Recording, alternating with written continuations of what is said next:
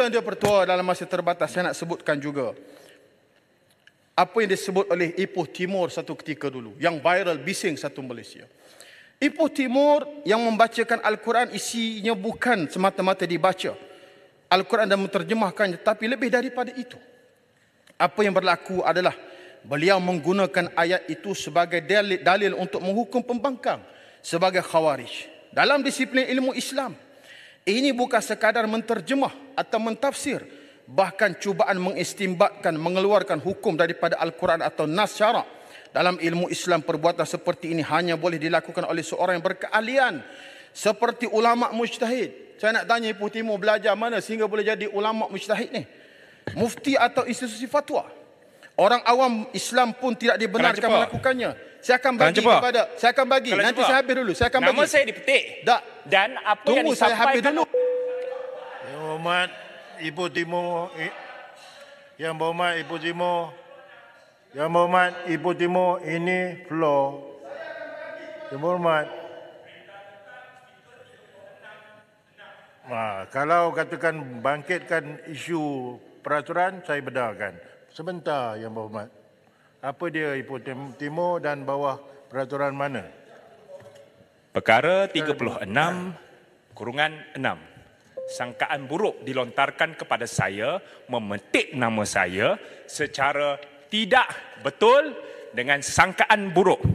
Yang dikatakan tafsir atau terjemah. Apa salah atas penterjemahan yang saya nukilkan? Ya, boleh. Saya Apa jelas. salahnya? Okey. Salah jelas. atau tidak? Nanti Tanya dulu.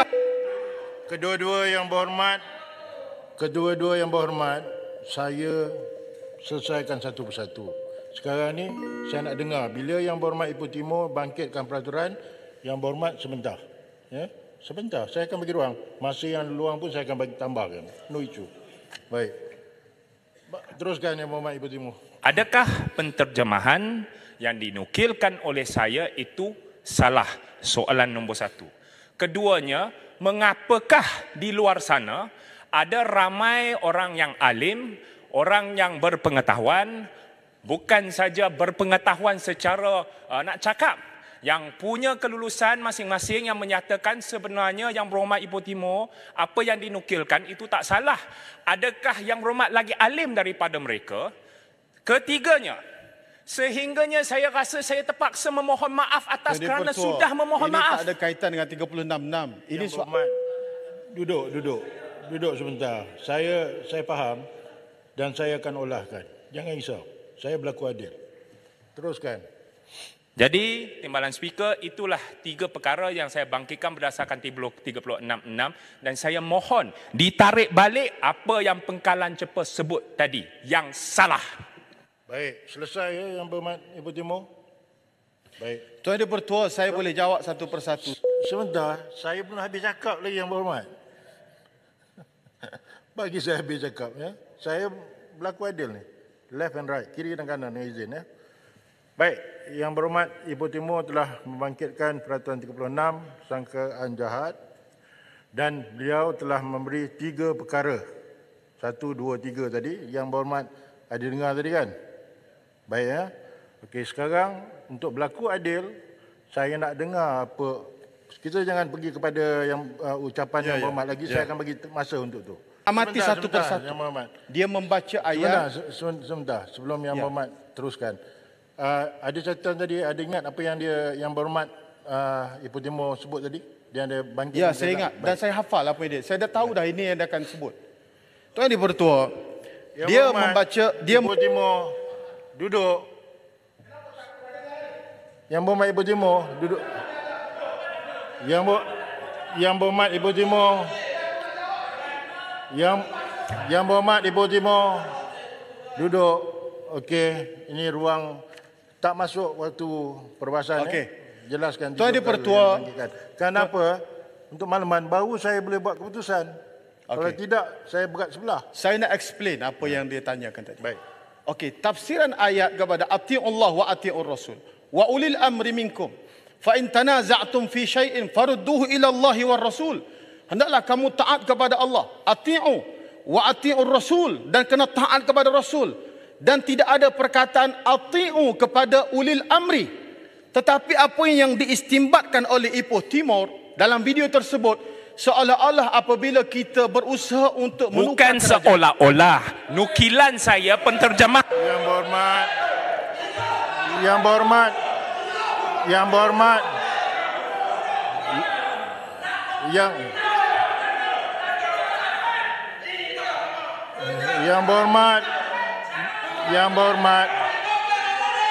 Yang berhormat. Yang berhormat duduk. Yang berhormat. Yang berhormat.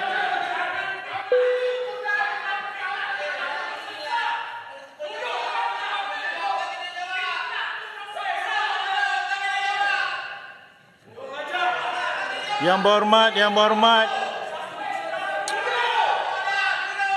Berhormat, saya minta di korum dan uh, yang berhormat, saya dah bagi arahan ya.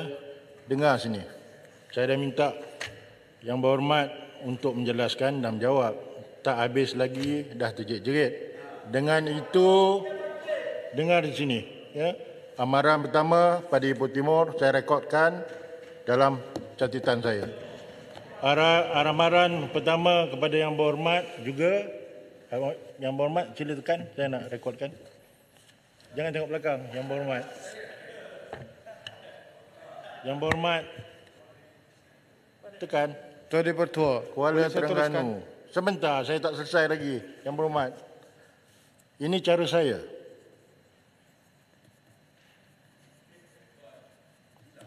Baik. Tadi yang bangun tadi, siapa lagi? Dengan rela hati sebagai. Baik. Sebentar. Belum lagi sampai tahap tu, saya bertanya sekarang. Yang berhormat pendang pun amaran pertama. Saya ingat tadi. Saya ingat nak ingatkan ya, saya ni saya akan buat keputusan, saya kalau jatuh hukum bukan ringan. Ingat amaran ya. Ini amaran saya. Dia bagi maksimum 10 hari, saya hak saya untuk bagi 10 hari. Baik, Datuk M tu. saya tak selesai lagi. Nanti lu yang bawa pendam. Saya, Saya- tak saya tak boleh apa saya kal- bab Yang- ini bab ini bukan dekat 10 hari, 2 bulan pun kita Memang tahu. Lebih saya- pada kami tu. tak kami tak boleh tak 44, dua kami tak akan takut berat. diugut nak bagi tahu kat Datuk M betul. Yang berhormat pendang ugut saya ke? Saya diugut tadi. Duduk yang berhormat. Jadi saya tak rasa apa-apa. Bab ni saya akan pertahan, saya akan lawan habis-habisan. Tahu. Yang ke, saya tahu yang berhormat berani. Tapi dalam dalam dewan ni kita ada peraturan, kita ada peraturan. Ya, saya dah bagi sebutan duduk, duduk, duduk dah lebih lima kali. Okey. Beberapa yang berhormat masih berdegil. Okey, semua Ya, dah duduk ni. Nanti dulu yang berhormat. Saya tak selesai lagi. Saya dah rekod Ipoh Timur amaran pertama, Kuala Terengganu amaran pertama, Pendang amaran pertama, lagi dua orang tadi ada nak mengaku atau tidak? Video ada. Tahu nanti kejap. Nanti dulu saya dengar. Okey. Yang Muhammad Tangga batu. Tangga Batu. Lagi seorang. Saya senyum, saya senyum. Ya. Lagi seorang. Video ada.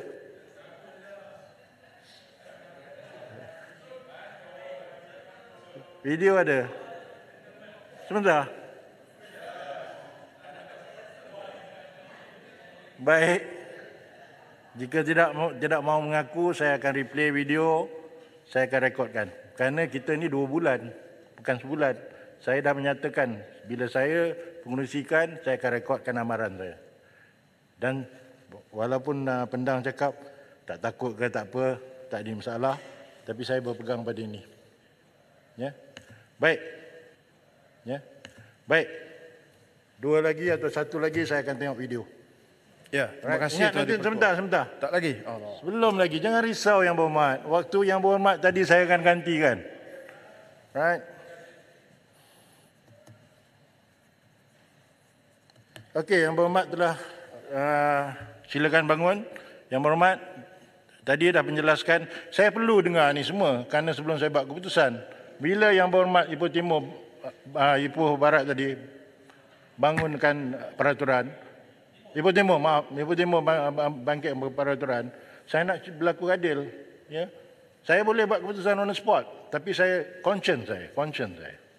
Dalam ni. Ha? Okey, yang berhormat, dah jelaskan yang pertama tadi, dia bangkitkan tiga perkara. Kita, walaupun kita buang masa, saya tak apa. Saya nak berlaku adil.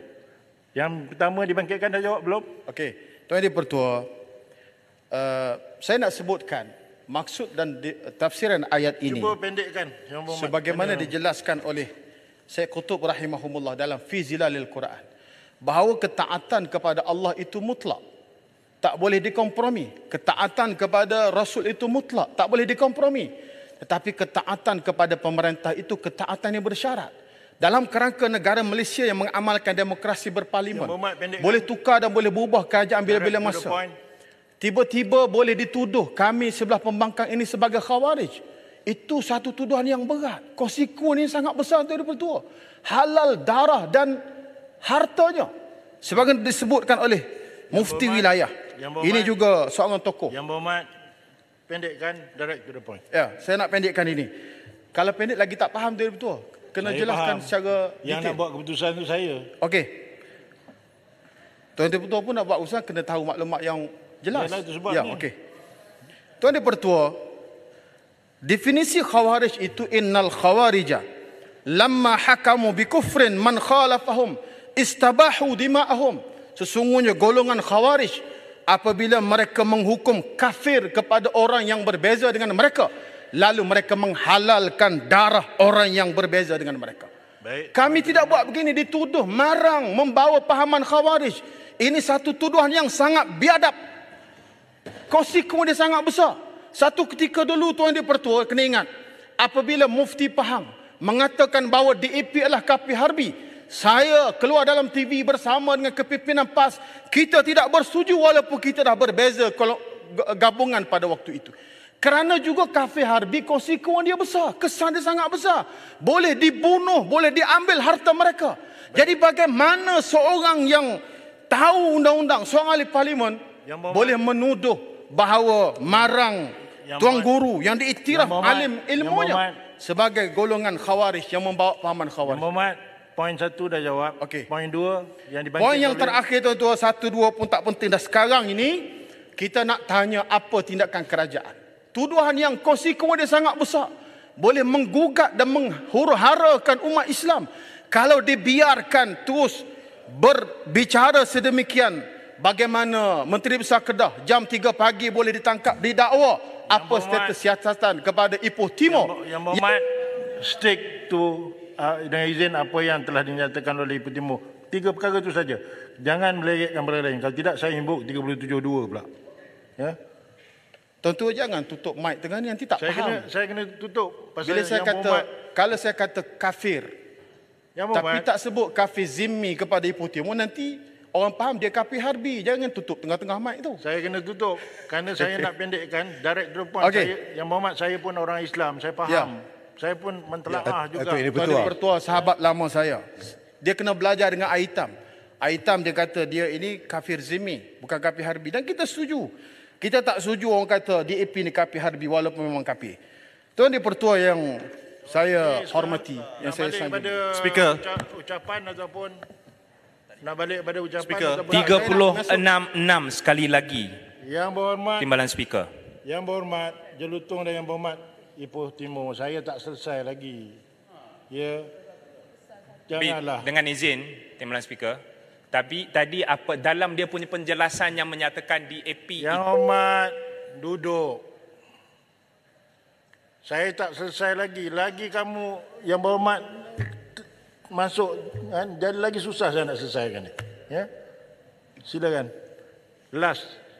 Tua dengan hanya kita berada di belah pembangkang membangkang pemerintah dalam kerangka demokrasi yang diizinkan oleh perlembagaan persekutuan maka kalau kita dilabelkan Yang sebagai Muhammad- khawarij Yang berhormat, tidak ada siapa pun yang tak pernah to- jadi khawarij termasuk Tambun. Yang termasuk Muhammad- yang berhormat belah sana sebab yang pernah jadi berhormat, pembangkang. Yang berhormat, ya. ber- stick to apa yang dibangkitkan. dan memang stick dah tu Ha, Habis itu yang yang ada dalam video dia.